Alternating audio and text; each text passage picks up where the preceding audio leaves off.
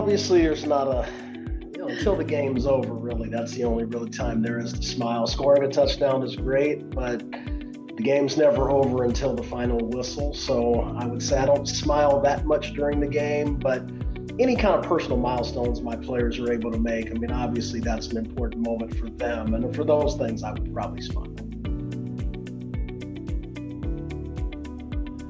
I mean, obviously, one of the biggest moments would be just having my child. I mean, that, it, it, you know, it takes your life from having just yourself to worry about and, and, and live your life to having someone else completely dependent on everything that you do. And I think probably that was probably one of the biggest turning points in my life was just in having my children. I mean, it's it was so eye-opening and so scary and so I'm, you know, coaching is one thing, but having a child and, and how they'll, you know, grow up in this crazy world, it's uh it, it was definitely eye-opening for me.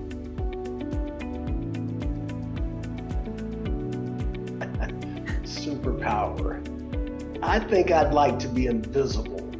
Honestly and truly, to be able to be in some places and hear conversations or see some behind the you know scenes things, I, I think it'd be incredible. And so, you know, we always joke about being a fly on the wall or something like that. Being invisible would allow, you know, obviously to get in some places you'd want to hear some conversations or or see certain things, and I think that'd be an incredible superpower.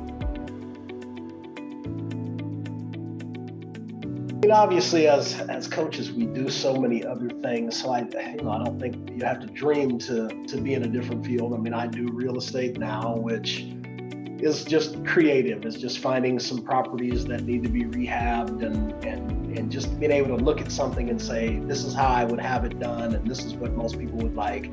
I think that part is is great. So real estate has been super fun mean, obviously, fresh out of college, I had owned a, a, personal training gym, and I thought that was hugely rewarding. It was just, it's a tough business, it's highly competitive, but you know, always anything where you're helping somebody attain a goal, I think that's always a fun thing. So, creativity is, is something I enjoy, but also helping people attain goals, I think, you know, both of those things tie into a lot of what I enjoy off the field.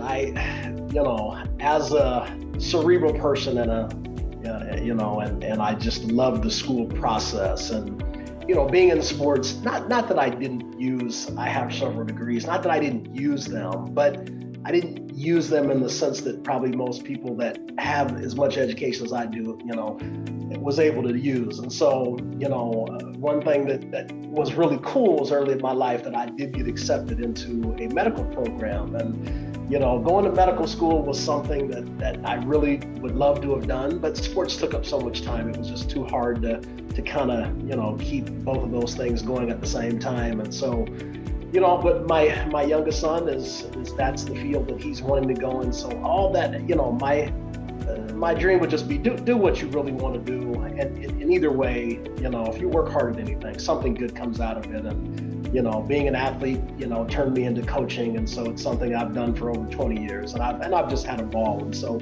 yes, was there other things I could have done maybe and made more money or something like that. But as long as I've been happy, I mean, that, that to me is, is the crucial is just make sure whatever you do, you're, you're happy at doing it. I think that's the best advice I could give anybody is happiness is, is, you know, again, it's, it's just something that you can't overlook.